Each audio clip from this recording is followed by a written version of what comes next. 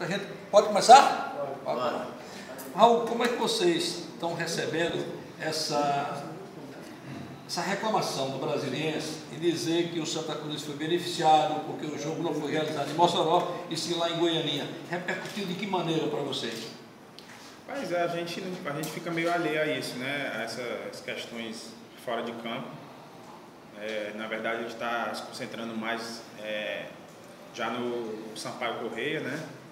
E, e, essa parte aí de ficar aí nesse bate-boca, né? E ver quem quem quem está certo e quem não está, a gente a gente deixa assim um pouco de lado. Mas não dá vontade de, pelo menos quando jogar aqui, dar uma enfiada nele, não? É, a gente vai ter que ganhar de todo mundo, né? E o brasiliense é, é, é o time forte que está bem, né?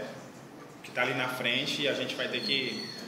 A gente, quando for jogar contra eles, vai ter que fazer um grande jogo também, né? Mas ainda é o terceiro jogo, então a gente tem que ir passo a passo.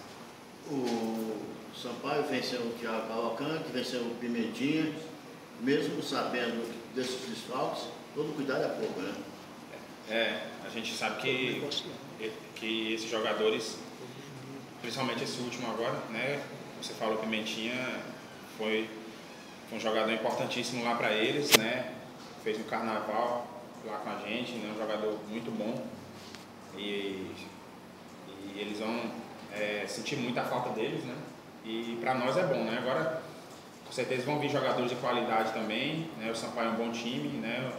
O treinador que a, que a gente conhece, né? E a gente sabe que vai ser um grande jogo, um jogo complicado. Nessa reta de chegada, um time de ascensão como o Santa Cruz, com opções como o Vica está tendo, isso quer dizer que o vento começou a soprar a favor, né? É verdade, a gente, a gente mudou a atitude né, da nossa equipe, estamos jogando com muito mais garra, com muito mais vontade.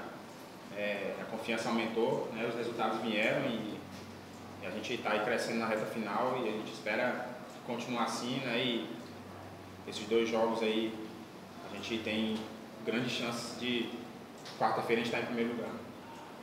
Algo geralmente, quando a gente analisa o futebol, a gente olha duplas em posições.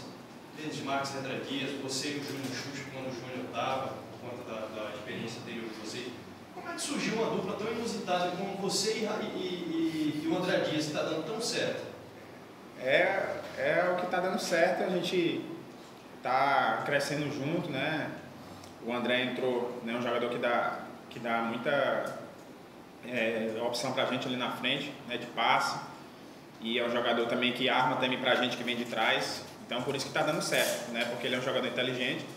Tanto ele finaliza bem, né? Como ele também dá, dá uns passes muito bons, né? Um jogador que tem, que tem visão de jogo, né? E, e, a, e eu que sou meia, né? Gosto disso também, porque aí quando ele sai, quando ele sai da área, né, ele vai fazer um cruzamento, eu posso entrar na área né, e posso esperar a bola que vai chegar. Pois é, aí é que tá, vocês ficam invertendo, parecem amigos quando vão beber e cada um paga a conta uma vez. É, só, só essa questão de beber que fica fora que a gente bebe, né? Melhor o casal vir. Vamos lá?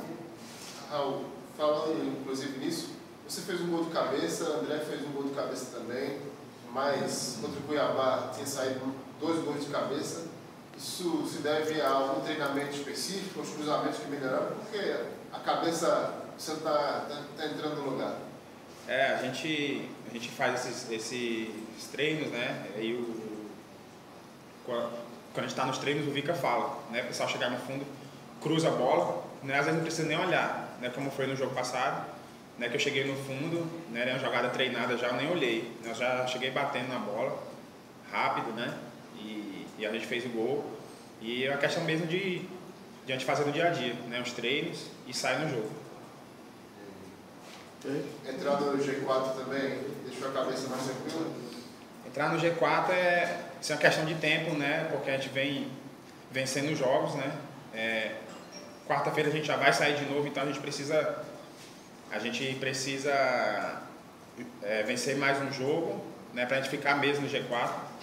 E aí e aí os outros dois jogos a gente vai definir, vencendo esse jogo de domingo, né, a gente vai definir se a gente vai ficar né, entre os dois primeiros, ou, né, são em, é, em terceiro e quarto, então. Mas a, a gente não pode falar sobre o futuro, né? A gente tem que falar e entrar no G4 agora, já nesse jogo de novo. Né, a gente vai sair quarta-feira, né? E esse jogo de domingo a gente pode entrar no G4 de novo, então a gente tem que ir passo a passo, né? Com muita cautela, sabendo que os adversários também querem entrar, né? Então a gente tem que ir devagarzinho.